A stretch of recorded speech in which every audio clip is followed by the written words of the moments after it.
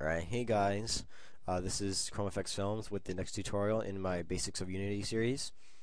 And in this video I'm going to be showing you guys how to use the terrain editor. Now, to make it, click the terrain tab on the menu bar, click create terrain. Uh, your default will be this huge big white plane. If you want to edit the size, you can actually go to window, sorry, actually terrain and click set resolution. The terrain length is actually the length of the terrain. Now it's set to, to 2000, but if you actually shrink it, it does not change the amount. Like literally, it doesn't literally change it, but in a way it does. So if you are um, making your brush size 100 and you raise it, it's actually getting smaller.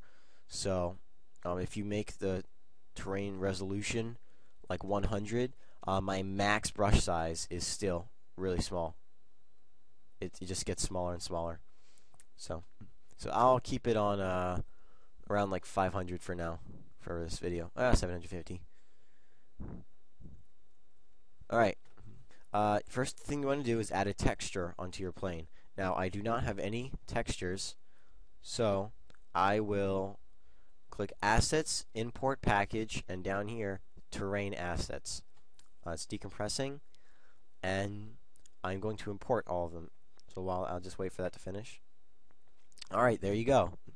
Now I click Edit Textures, Add Texture, and there you go. I got basic textures. Um, I'll make this grass hill and click Add. You can change the tile size. That is for the different size textures that you have, and if you want to make it more fine, or if you're far from a distance, if you just want to save memory, you do, do that. So, add. I am in rendered view, but I am not in lighting view. So if I turn on lighting, with which is this button right here, it gets really dark. That is because my ambient light is really dark, like I said in my last video. So I would actually drag that up all the way to white and make that uh, as high as it can go. And I will click my camera and reposition it. Now one thing is instead, since if I want to get my camera right here, where I'm looking right now, and I, I don't and I want to do this and try to move it and try to move it like try to get it to my camera position as well as I can and like uh it's not exact. Uh there's a lot simpler way to do that. Um just look where you want to go. Select the camera click game object and align with view and there you go. And now it's set with the camera. This is really helpful for positioning positions.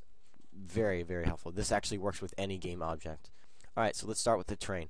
Over here, this first uh, button actually is the uh, style of brush. This this kind of raises your terrain like randomly. So I'll actually turn lighting off for now, just so you can see the uh, sh the shadows and stuff.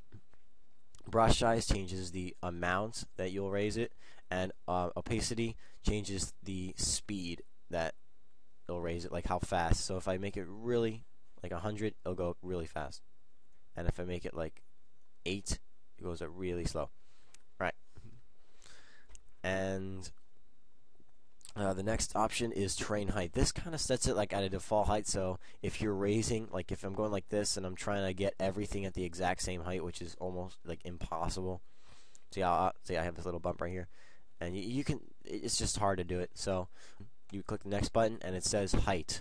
Uh, you'd actually set a default height, and then just use the um, the brushes and just keep going and then look at that and it stops at a certain height no matter what height like to according to what height you set right here uh, it would stop it at that height. So now as you can see they're all the same height. Wow glitching out. Uh, they're all the same height. So that's what that is for.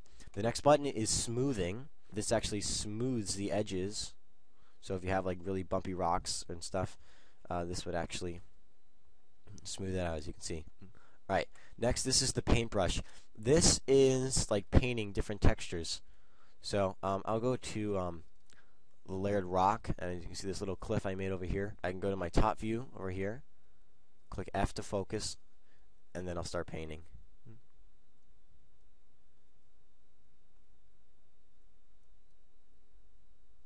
That was bad. Okay. And I'll just make the height of this stuff zero and make a, a short little scene. So I'm going to pause the video, I'm going to make a short little scene, and then I'm going to play it again, and then I'll uh, continue from there. Alright, uh, I just changed this up a little bit. Uh, looks a little bit better. Uh, it's just more organized. So, um, I was on painting.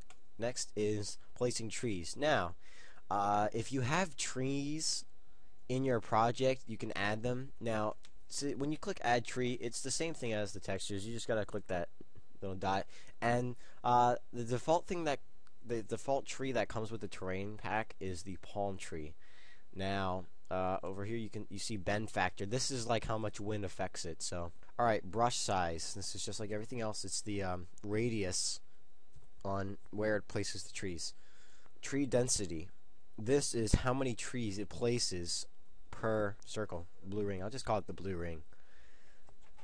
Alright, uh, if you have a hundred, if you click, lots of trees. If you hold it, it like makes it so fine you can't even see the ground. Um, if you make it like 47, then as you can see, it only makes it a certain amount, 60, and 70. Um, color variation. This changes like the color from brownish to greenish. and just it, overall just changes the, the darkness of the tree. But um, for palm trees, you shouldn't have that much. So I'll keep it like that. Uh, tree height. This is how tall you want your trees to be. So I can make really tall palm trees, which is pretty accurate. Or you could have really short palm trees. I'll keep it in the middle. Tree uh, variation. This is really good. Uh, this changes the height. See, as you can see, all the trees are not the same height. It looks very realistic, and I highly recommend that. Uh, tree width, same thing. Like I have really wide trees, which doesn't look very good. Uh, but in some cases, it actually would. And then there's a variation, so it changes, changes um, how wide the trees are. So you can see that one's not very wide, and that one is really wide. So that's that. Over here, this is um, adding, well, let me just add a few trees just to make the scene look nice. Low density. Like uh, Next. Um, this is actually for grass. Uh, works very well with grass, as you can see right here. Grass, grass 2. The healthy color. When you have it this bright green color, it actually doesn't look very realistic. I would recommend having like a like a light grayish. Uh, the dry color is okay though. Uh, when you place it, you have this nice looking grass. You have to be careful though because Unity can only take a certain amount of grass until it starts slowing down. It doesn't matter what kind of computer you have. Unity will still start start slowing down because of the program. So you have to be very strategic about where you place your grass. So only place it where needed and target strength I'd recommend having as low as you can. Um, and opacity uh, I usually keep, keep this pretty low too because uh, it it places grass pretty uh, pretty frequently. Uh, brush size is the same thing. Like you can have a lot of grass around here and it still won't get slow, but if it's really fine, it won't work. As you can see, it's fading out. You can change that. The next button is the preferences. Uh, this is where you can, if you're like trying to edit the terrain and you don't want to see all the grass, you can uncheck this draw, which gets rid of trees, plants, and any other object in the uh, trees and plants section. Um, detail distance.